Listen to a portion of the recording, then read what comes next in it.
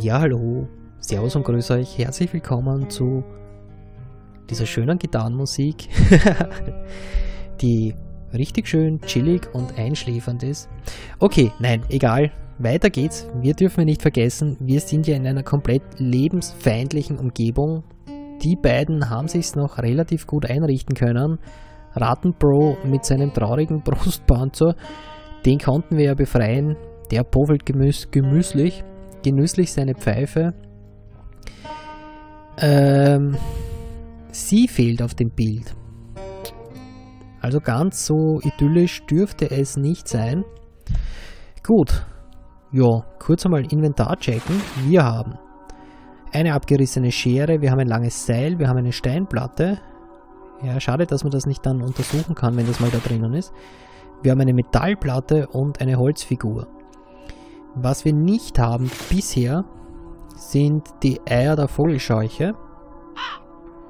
Und wir sind eigentlich noch kein einziges Mal nach rechts gegangen. Aber ich glaube mal, eins von diesen Dingern passt dort rein. Und das da. Nein? Ich dachte, dass das vielleicht irgendwie so, so, so wie so ein Kartenschlitz ist. Vielleicht die Platte? Das führt zu nichts. Na gut. Gut, ich schaue jetzt mal da nach rechts, Richtung Zug, schätze ich mal. Oh.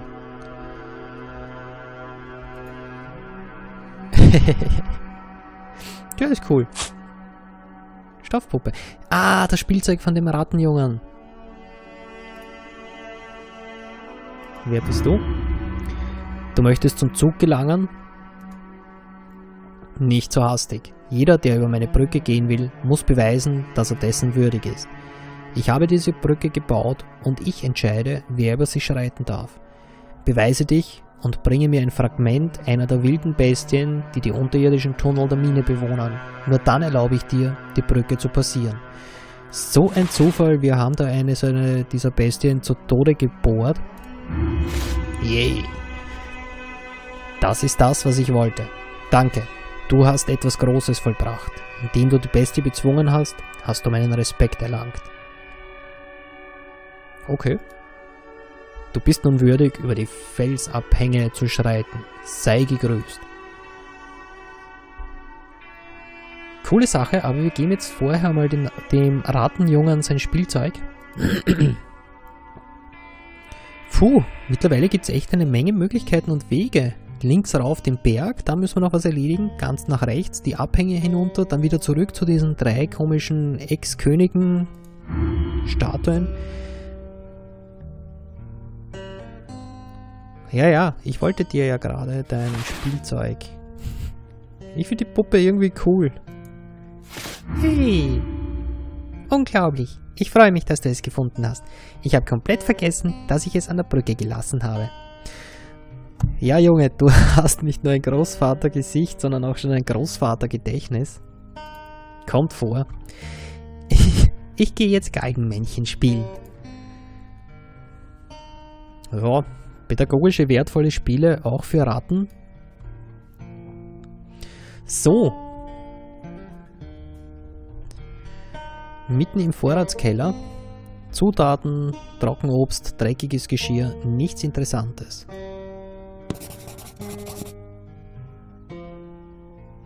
Ah, das habe ich bereits notiert. Das ist ja eine von diesen, so eine Figur haben wir ja. Da. Die da. Habe ich bereits notiert? Ja, okay. Kann das sein? Ist da vielleicht der Zahlencode irgendwo in den Figuren versteckt? Nein, nicht wirklich. Weil da ist ja noch dieses eine Rätsel, vor dem ich noch nicht wirklich sicher bin, äh, ob wir den Code jemals finden. Cool. Noch eine Holzfigur. Damit wären es jetzt schon zwei. Drei, vier. Ah, okay, okay, okay. Na gut, das sollten wir jetzt aber schaffen. Die war... Also wir müssen zuerst einmal beide einsetzen. Ja, das ist jetzt aber fies. Die war an Position 2.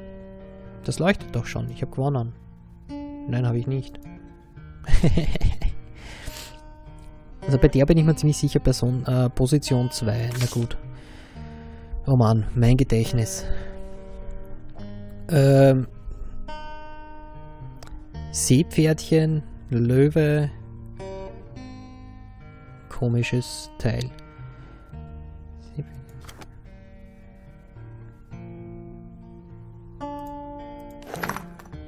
Kann ich die auch so tauschen? Nope.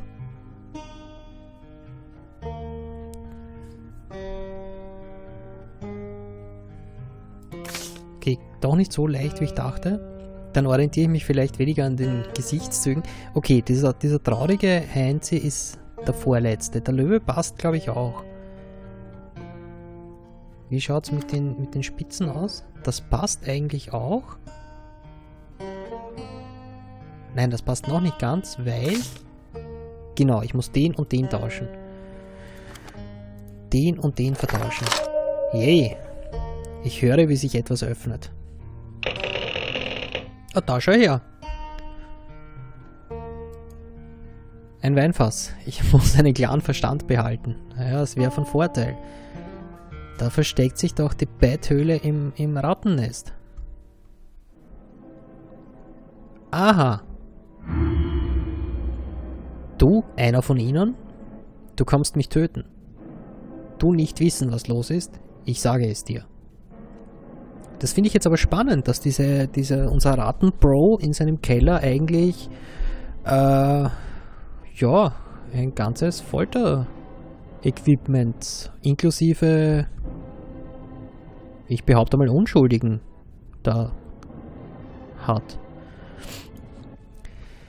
Die Ratten locken Opfer in ihre Hütten, einschläfern und am nächsten Tag aufwachen in Käfig und warten auf ihre Mittagszeit. Ach du Schande. Ich sei einer dieser Dummköpfe. Seine Grammatik ist super. Ich sei einer dieser Dummköpfe und nun mich erwarten sicherer Tod. Tu dich erbarmen und mich befreien. Ich dich lassen frei, ha? Du denke bestimmt, dass ich nichts anbieten kann. Tu dich irren. Ja, Alter, du hast nicht einmal Shorts an. Ich so wie du, fast geflüchtet aus dieser fürchterliches Reich. Schon Fahrschein gehabt für Zug, als sie mich gefangen. Okay, das macht die Sache jetzt schwer, weil wenn du einen Fahrschein für den Zug hast, wo auch immer du den jetzt versteckt hast, ich will es gar nicht wissen. Na okay, ich klicke einfach mal weiter. Bevor ich hier gelandet, gesucht Hügel mit Händen, dort warten Erlösung. Jetzt für mich Fahrschein nutzlos. Geben mir Freiheit, du mir helfen. Naja, wenn du mir den Fahrschein freiwillig gibst, äh, finde ich die Sache nicht mehr ganz so schlimm und tragisch. Wenn ja, dann drücke Knopf auf Wand. Er den Käfig nach oben bringen zum Licht. Freiheit dort wartet. Ja, Moment, aber oben sitzen ja die Ratten.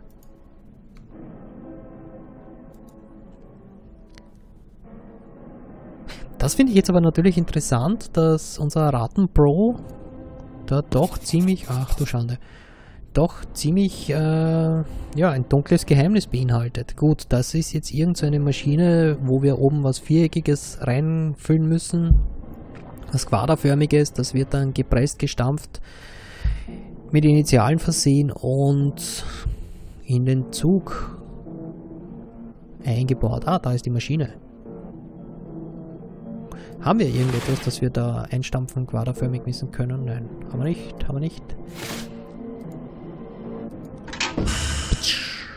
Ah, mal. Kann man das da herlegen? Nein, kann man nicht. Das sollte ja dann... Gut. Die Platte gehört aber garantiert da rein.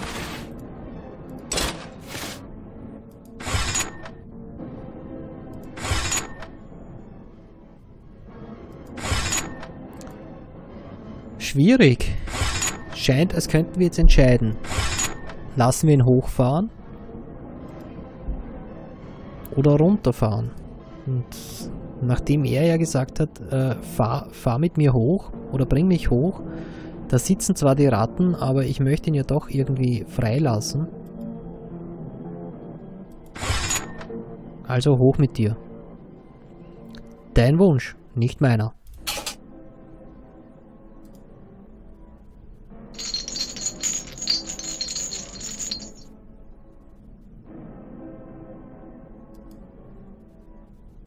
Ah, okay, der Brunnen ist voll mit dreckigem Wasser. Hinunter hätten wir ihn auf alle Fälle ersäuft. Aber was ist jetzt eigentlich... Jetzt ist er ja oben bei den Ratten.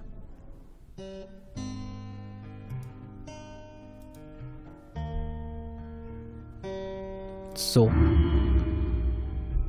Ja, im Inneren der Gruft. Ich war im Keller von dir. Du. Warte mal, was war das jetzt mit Folter? Das war jetzt ein anderer Text, oder? Vielleicht könnte dank dieser Kraft meine Familie nicht mehr in Angst vor den Folterknechten. Hallo? Ihr fresst Menschen? Freiheit gut, Brunnen böse. ah, der ist da beim Brunnen rausgefahren. Naja gut, danke. Du Freund, Rattenböse, sehr böse.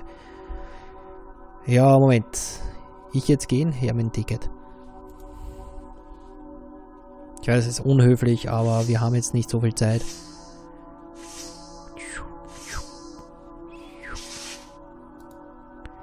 Na gut, hätten wir ein Zugticket, ein Zugticket.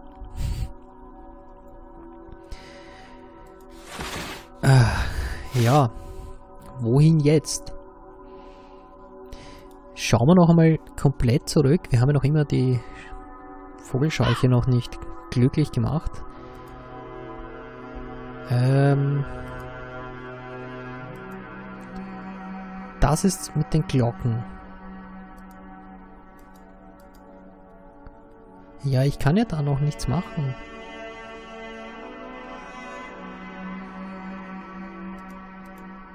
Ja, egal. Dann doch wieder auf die andere Seite.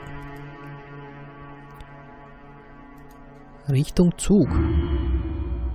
Oh, der, der, der sieht ja tatsächlich menschlich aus. Sei gegrüßt, Reisender. Wenn du denkst, dass dieser Zug irgendwo hinfährt, dann irrst du dich. Er funktioniert seit langer Zeit nicht mehr. Seine glorreiche Zeit ist ebenso wie die meine schon längst vergangen. Ja, deswegen bin ich da. Wir reparieren den Zug jetzt. Dieser Zug hat Steine für den Bau des Schlosses transportiert. Nach einiger Zeit fand man in unserem Land Vorkommen und baute eine Mine, sodass der Zug nicht mehr gebraucht wurde. Heute ist es eine nutzlose Ruine. Obwohl ich mein Leben dem Schutz dieses Zuges vor Räubern gewidmet habe, sind Jahr für Jahr Teile verschwunden. Um das zu retten, was noch da ist, habe ich die Tür zum Maschinenraum verschlossen. Die Kombination, um sie zu öffnen, habe ich in meinem Kopf versteckt, aber auch hier wurde ich bestohlen. Und ich könnte schwören, das ist die gleiche Kombination, wie wir sie auf der anderen Seite brauchen. Meine Erinnerungen wurden vom Alter bestohlen. Mitsamt dem Ort, wo ich die Kombination auf Felsen gehauen habe. Okay, es gibt's irgendwo schriftlich. Wenn du wirklich fest entschlossen bist, können wir uns aber gegenseitig helfen.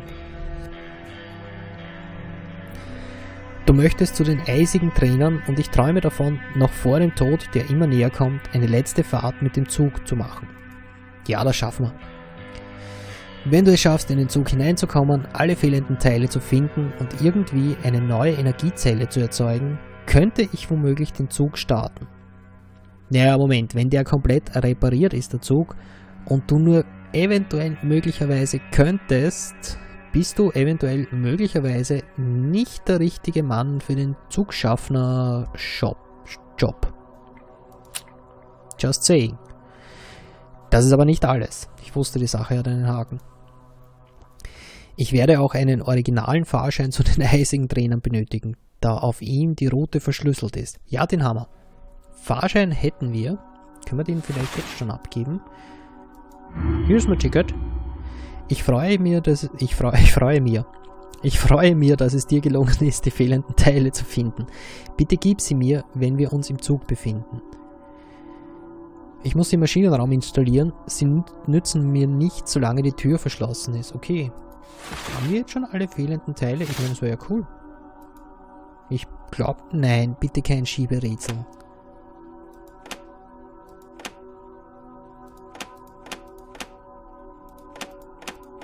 Dum, dum, dum. Beschäftigungstherapie für Let's Player. Aha.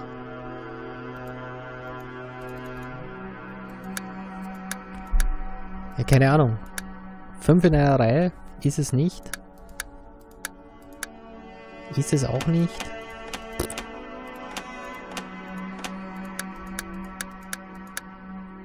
Ist es auch nicht.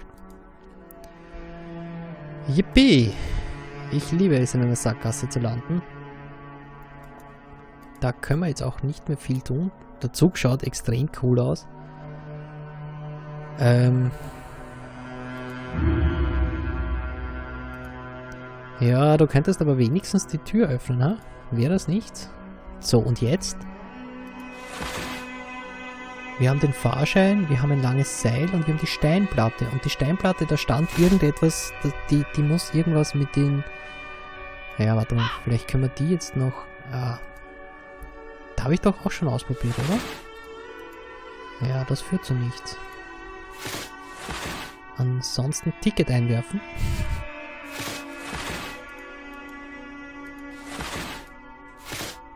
Lange Seil mir gehen jetzt die Ideen aus, das nützt nichts. Ich habe keine Zeit für solche Experimente. Du hast die Ewigkeit.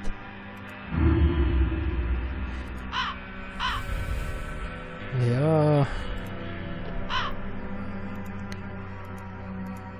Gut. So, ich bin jetzt im Moment ziemlich planlos. Okay, wir können auch gar nicht mehr komplett zurück. Ich glaube, irgend, irgendwas übersehe ich da jetzt noch. Wo sind denn eigentlich diese komischen... Also die haben wir ja schon verbraucht.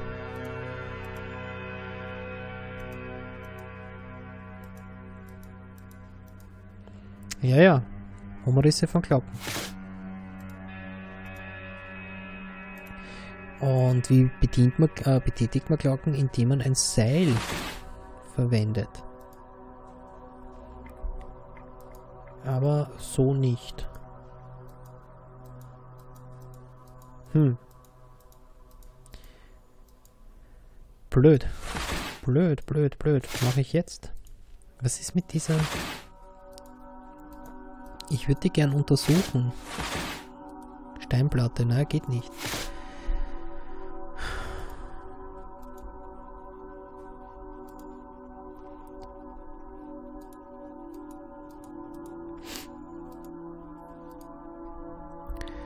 Jo, ich habe im Moment keine Ahnung.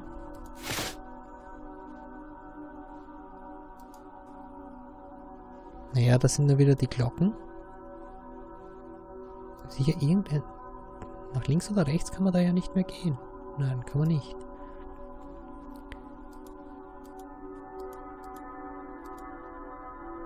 So, gut. Da war ja nur das Bild drinnen.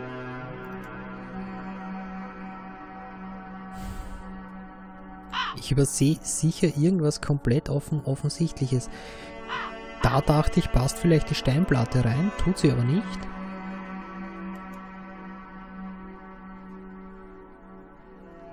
Können wir da jetzt vielleicht die Kristalle wieder mitnehmen? Nein.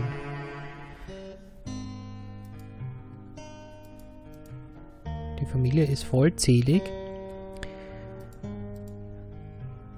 Der Unterzeichner, ja, der hat nicht unterzeichnet. Deswegen ist wahrscheinlich auch die Familie nicht mehr vollzählig.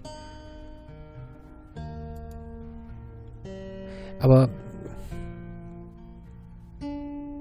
bilde ich mir das ein oder hat sich jetzt die Tageszeit geändert? Weil vorhin hat da, glaube ich, die Sonne reingescheint und jetzt ist eher so kaltes, bläuliches Mondlicht. Cooles Detail, wenn das tatsächlich so ist, aber ich kann mich da jetzt nicht so genau erinnern. So, und da war ja jetzt auch nicht mehr viel zu erledigen. Das Rattengeheimnis haben wir aufgelöst.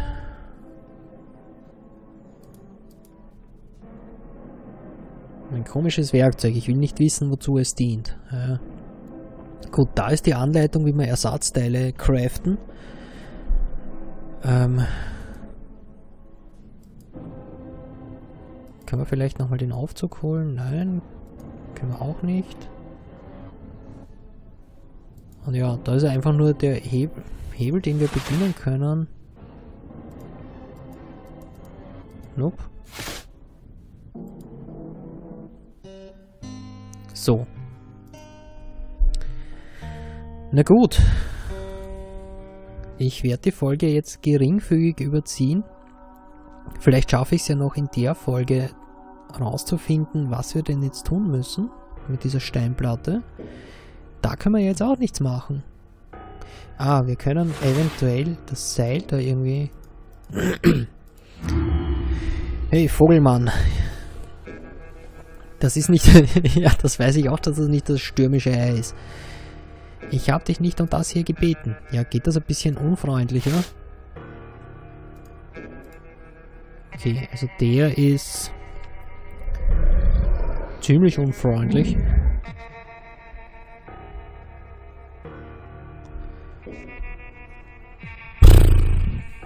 Ja, da ist jetzt wieder der Zahlencode, von dem keiner weiß, wo, wie, wann, warum.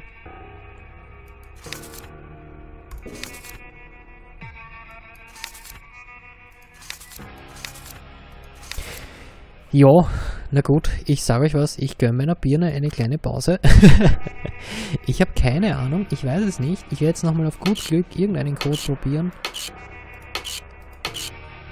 Ist es nicht, war leider falsch. Ähm, ich habe tatsächlich keine Ahnung, was wir tun können. Jawohl, das leuchtet jetzt. Ja, aber das hat davor auch schon geleuchtet.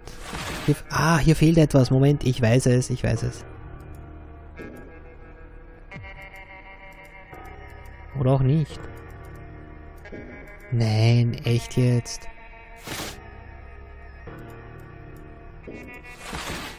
Aber sonst habe ich ja nichts. Na gut, schade.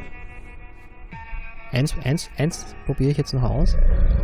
Vielleicht, also die, diese Scheren-Dinger haben wir ja auch abgeben. Ja gut. Ich brauche eine Pause. Ich habe keine Ahnung. Ich stehe gerade an. Ich muss mal kurz mein Hirn durchlüften lassen. Vielleicht finde ich ja beim nächsten Mal die Lösung. Ähm, ja, wenn es euch gefallen hat, äh, lasst einen Daumen da, würde mich total freuen und würde mich auch freuen, wenn ich euch in der nächsten Folge wieder begrüßen darf. In diesem Sinn, ich bin draußen für heute. Ich wünsche euch was. Ciao, Baba.